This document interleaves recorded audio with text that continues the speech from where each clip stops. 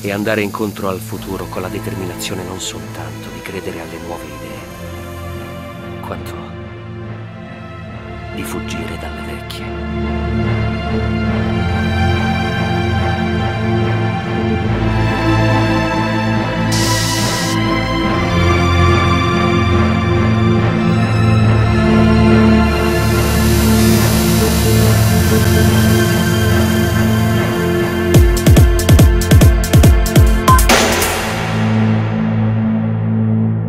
Hi everybody, I'm very happy to talk to you today about social business and cure thalassemia.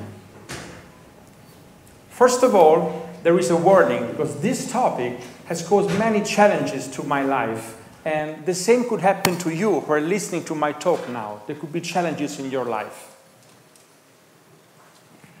Here you find some newspapers and TV channels who have interviewed me for this topic of social business and also some universities all over the world, in the US and in Europe, when I gave some lectures and talks about social business and cure thalassemia.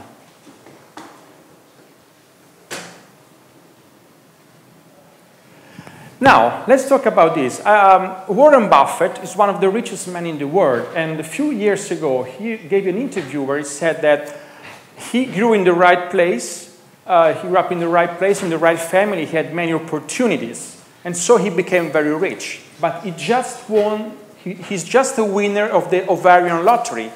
I was very impressed when I heard the speech of uh, Warren Buffett, and I thought that I'm not Warren Buffett, of course, but I grew up in Rome in a family who gave me the opportunity to go to university, to learn languages, to travel. So I feel very lucky.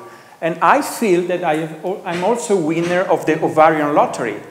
If I were born, for example, in Bangladesh, in a rural village, I would probably now live there in a village with $2 per day. And this has been a great source of inspiration for me for what you're going to listen now. Now, let's talk about thalassemia, which is the most spread genetic mortal disease of the world. It's a blood disease and it's the lack of hemoglobin in the blood. The hemoglobin is, is the one responsible for bringing the oxygen all over the body. And unfortunately, 100,000 children die every, every year all over the world for this disorder. And as you can see in the chart, it mainly affects Southeast Asia and the Middle East, not Western countries anymore. Um, a thalassemia child needs to have blood transfusions every month, otherwise he dies. And, uh, but anyway, the average survival age in developing countries is about 10 years of age. And most of the, of the kids, they die very, very young because they don't even have the money to do the blood transfusions. The good news is that there is a solution for this. It's called bone marrow transplantation, invented 30 years ago by an Italian genius called Guido, Professor Guido Lucarelli. And since then, almost 3,000 BMTs have been done, transplantation all over the world, and more than 50% of these have been done by Professor Lucarelli and his staff. You can see him here with uh, Luciano Pavarotti. They were very good friends, and Luciano Pavarotti was also a financial supporter of Professor Lucarelli and his research on thalassemia. Now, Pietro Sodani is my best friend since we were kids. He's like a brother for me. And he works with Professor Lucarelli since 13 years, and he has done more than 400 transplantations. This is why I know so much about thalassemia, even if it doesn't exist almost anymore in Italy. Pietro started to volunteer for an Italian charity based in Florence called Cure to Children, who did something amazing. They decided to create a bone marrow transplantation unit in Pakistan in a public hospital, but with local doctors and local nurses.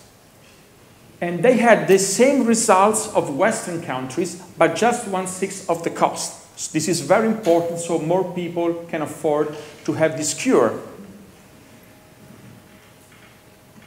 Here you see one of the kids before going to the uh, transplantation unit. And uh, Pietro introduced me to this charity. I liked it a lot. So I started to be a volunteer as well for internet marketing, which is my passion since 20 years. And then they asked me to travel with them to Asia. I went to Pakistan for, one, for, for 24 hours and then also to India. And then something amazing happened.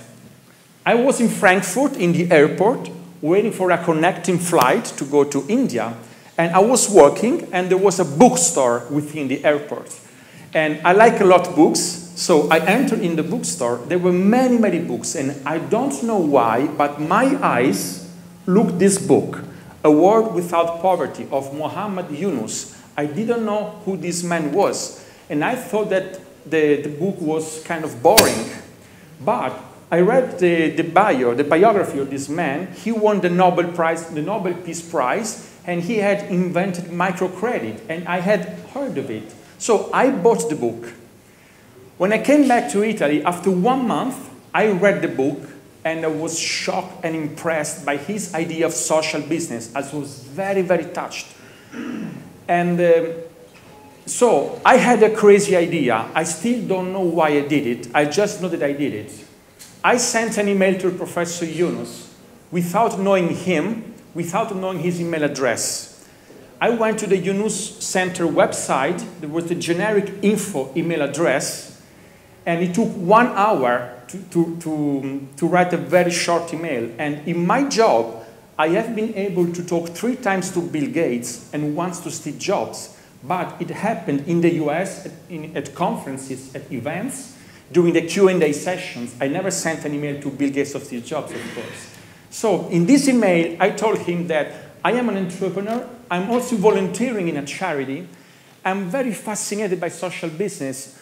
And I wanted to create a social business for thalassemia. I have no idea on how to do it. But from now, it was 2009, I will start brainstorming about it on how I can do it.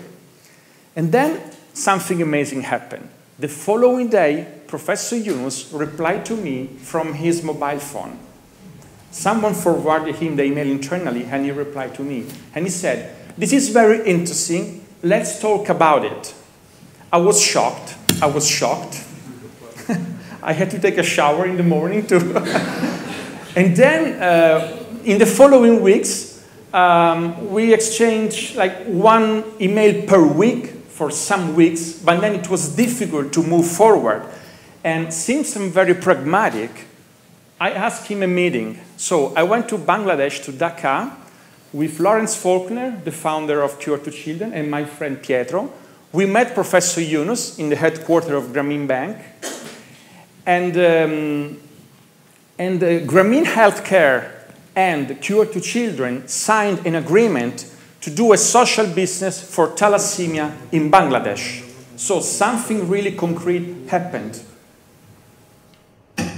This story became one chapter of the new book of Professor Yunus, Building Social Business. There are 16 pages about the story that I just told you. And you can also read the original e email that I sent to Professor Yunus and his reply to me. But what is a social business? Professor Yunus gives seven principles. Now I will tell you the most important ones. First of all, a social business is a company whose goal is to solve a social problem and not profit maximization. Number two, a social business has to be financially self-sustainable, selling products or services in the marketplace without relying on donors' money like charities do. And uh, the revenues have at least to cover the costs. Third, investors can have back just the original amount of money invested originally in the company. From that moment on, they can't get any dividend. So you can't get rich with social business. This is by design and by default. Number four, very, very important in my opinion, people working in a social business are paid at market prices.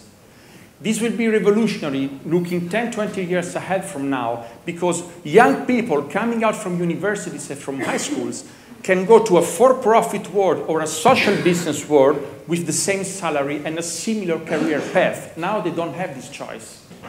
And you know, people always makes difference all over the places. Money is a commodity, people are not. Professor Yunus is Muslim, but if you're Christian, the Pope, in an encyclical letter, uh, wrote that there should be an economic initiative which, without rejecting profit, aim at a higher goal than the mere logic of profit.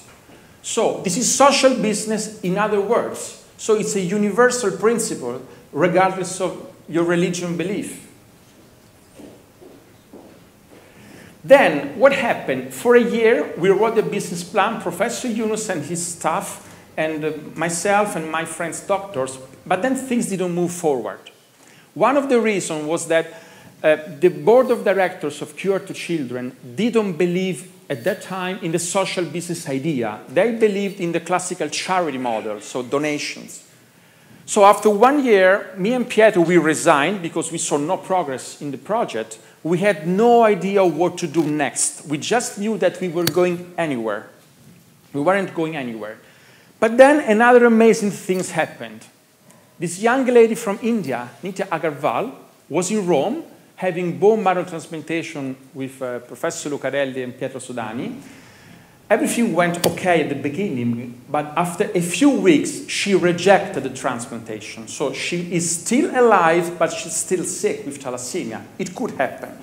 Usually, when these things happen, the parents start to scream with the doctors, to say bad words to them. But the grandfather of this young lady went to Pietro and he told him, You did your job, you did very good. I know that I knew that there were some risks. I have nothing to blame to you.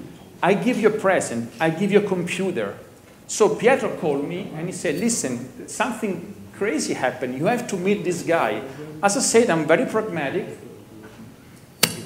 So we had a dinner together in a restaurant, and I explained to him the project that we were supposed to do in Bangladesh with Professor Yunus, and we decided to do the same thing in India, but without Professor Yunus, with the same principle, but without Grameen being involved and without Cure to Children. And we wrote the first draft of the business plan in the napkin of the restaurant, like in the movies. then we went to we went to India, to Hyderabad in southern India. This is uh, the welcome at the airport, embarrassing and emotioning at the same time. This is his family, Chandrakant family at the airport. Then, one day, Mother Teresa had an heart problem. She went to a cardiologist and he cured her. But then she asked him, If I bring you poor children, can you cure them? And you know, in Asia, healthcare is mainly private, not public. He said, No, this is a private hospital, you need money. And she told him, Cure the poor children, the money will come. She's Christian, he's Hinduist. When she died, he was so inspired by these words of Mother Teresa that he resigned from the hospital.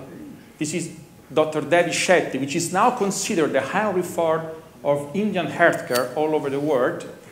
And uh, he founded in Bangalore, in southern India, the Narayana Hospital, which is now one of the largest cardio cardiological pediatric hospitals in the world. He has been awarded as Social Entrepreneur of the Year in many places. You can see here in, in the slide. He has mentions in important TV, magazines, and universities all over the world. Narayana has democratized healthcare. Is, is healthcare low-cost, high-quality healthcare for poor people. Like Dr. Shetty says, every children on the world has the right to have an, an heart surgery and many other things. And now, um, 40, uh, the cost of an heart surgery at Narayana is just 40% compared to other Indian hospitals. And this, the results are the same of the best American hospitals. They have 5,000 beds, 2,000 in Bangalore and 3,000 in other cities. Within, within five years, they will have 30,000 beds. It's amazing. And 12% of all heart surgery in India are done at Narayana.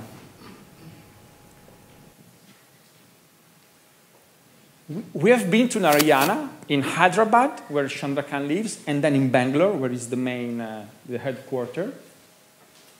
And so, Cure Thalassemia is a social business founded by Chandra Khan Agarwal, Pietro Sodani, and myself, following the seven principles of Professor Yunus to address thalassemia for poor people.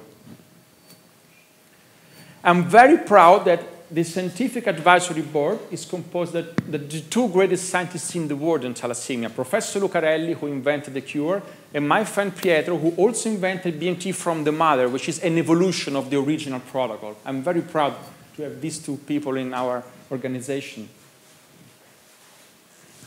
But how the business model works? Um, this um, disorder affects at the same time rich people and poor people. And so, um, every four paying patients, we take the profit, not in our pockets, like if you were a normal private hospital. We put it aside and we use it to cover the cost for someone who can't afford it, which is the fifth bed. In this way, we are a social business because we address a social problem, we don't get any dividend out of it. So we respect the seven principles of Professor Yunus. How I got the idea? Pablo Picasso said, good artists copy, great artists steal. and so I started to read many books about social entrepreneurship and to watch TED Talks. And I was very inspired by this TED Talk about Aravind Eye Care Hospital, which is an amazing place in India, founded 30 years ago by a doctor who decided to do a surgery for cataract with this with this model of cross-subsidization, so rich people pay and um, the profit is used to, to give to poor people. And Professor Yunus implemented the same thing in Bangladesh. And so I'm very fascinated because it is the best of both worlds, the efficiency of the private sector, but also the solidarity of the public hospitals that we have here in Europe. This is the, MOU, the agreement that we signed with Dr. Devi Shetty. You can see him, Pietro, me, and other people. Another thing we did is the freemium business model in healthcare. So we, um, Dr. Sodani gives free advice via email on bone marrow transplantation to patients from all over the world. Every day we receive emails from all over the world. And also four times a year he's in Bangalore in India and he visits for free patients. Doctors don't do this usually. This fact, this freemium business model, gives us a lot of word of mouth among the thalassemia community. It's what the, the marketing guru Seth Godin calls a purple cow. So my advice is start small, but think big from day one. And one of the reasons is that there is less competition. If you think small, many people think small. A few people think big. Don't underestimate this and then follow your passion. Like Professor Yunus says, wherever there is a social problem, you can create a social business to solve that problem. So, cure thalassemia, no more transfusions. Thank you for your attention.